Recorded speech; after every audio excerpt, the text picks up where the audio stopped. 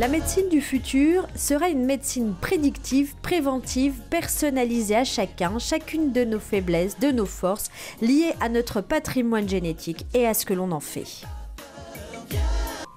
L'e-santé désigne tous les aspects numériques touchant de près ou de loin la santé.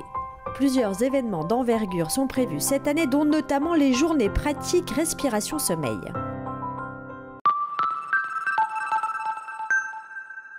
Vu il y a quelques jours sur Facebook ce selfie derrière le président Macron, le président bordelais de Sim for Health qui faisait donc partie de la délégation présidentielle en Tunisie pour participer à un forum sur les innovations numériques dans la formation des professionnels de santé. C'est fort de cette économie, de ce dynamisme qu'il y a quelques jours était organisé le Forum Santé et Avenir à Kedge, à Talence. Au programme, ateliers et conférences, les mots-clés à retenir de ce que sera notre santé demain, préventive, personnalisée, prédictive, c'est-à-dire que l'étude de la génétique nous permettra de prévoir nos futures affections. Rencontre avec quelques-uns des exposants de ce forum. L'idée de ce projet, c'est de faire de ce robot un assistant des kinés. Euh, qu'est-ce que j'entends par assistant des kinés C'est vraiment sur tout ce qui est exercice de rééducation.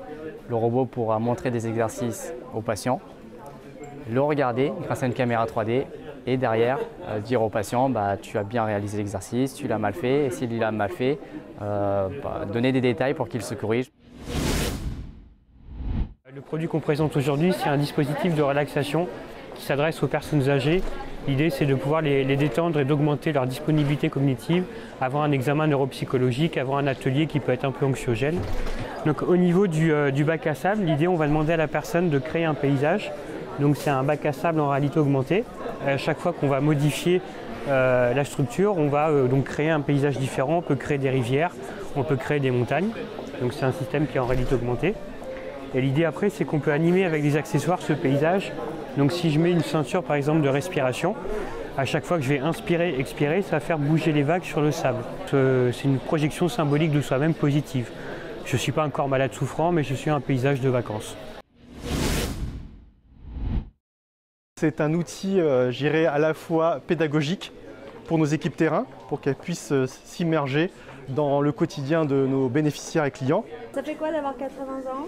C'est plus dur que ce que je pensais. C'est-à-dire euh, c'est-à-dire qu'au niveau de la vision, déjà, je vous vois très mal. Je vois à peine mes pieds. Je suis obligé de faire ça pour me voir mes pieds. Et, euh, je vous entends à peine en fait. Preuve que la médecine va devoir se personnaliser, on n'a quand même pas tous les mêmes 80 ans. Regardez les 80 ans façon Joël de René.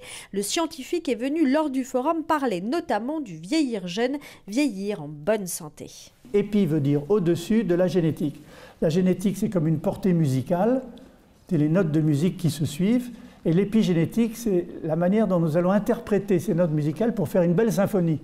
Alors, quelles sont les clés de l'épigénétique? Qu'est-ce que l'on peut faire pour se modifier soi-même? En quelque sorte, je vais vous dire une phrase peut-être un peu forte, mais je la dis comme ça volontairement par provocation, on peut faire des manipulations génétiques sur son corps tous les jours.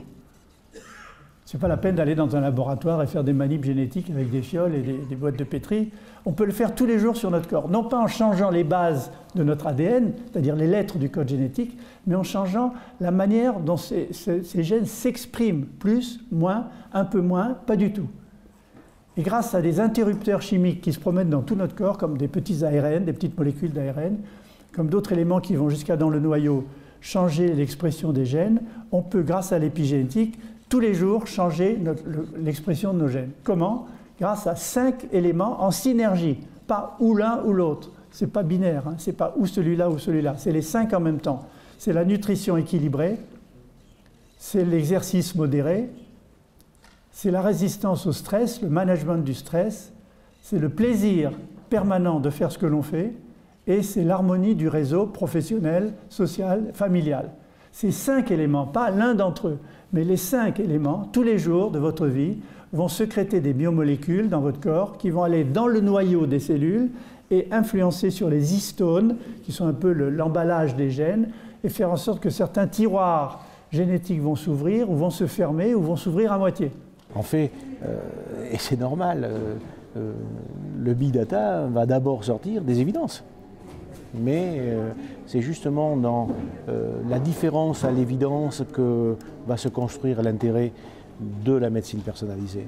C'est-à-dire la différence à la norme, à la norme statistique, hein, à, l'habitude, basée sur les caractéristiques de chacun, ce que ne peut pas faire la médecine d'aujourd'hui.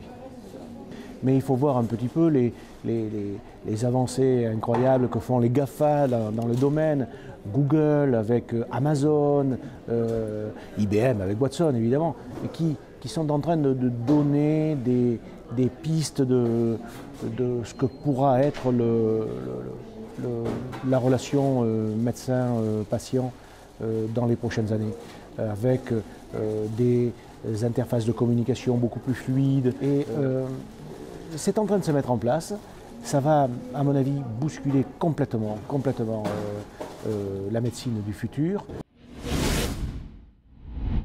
Euh, va avoir de plus en plus d'éléments qui vont nous permettre de mieux maîtriser son environnement, son quotidien, d'avoir une bonne nutrition, euh, de prévenir euh, les maladies. Et finalement aussi, ce qui est très intéressant, cette évolution du rôle du médecin qui va finalement, si je reprends les, mots de Joël de Ronet, va devenir plus un conseiller santé plutôt que quelqu'un qui va prescrire des médicaments. donc on va très clairement vers cette évolution de la santé de notre prise en charge.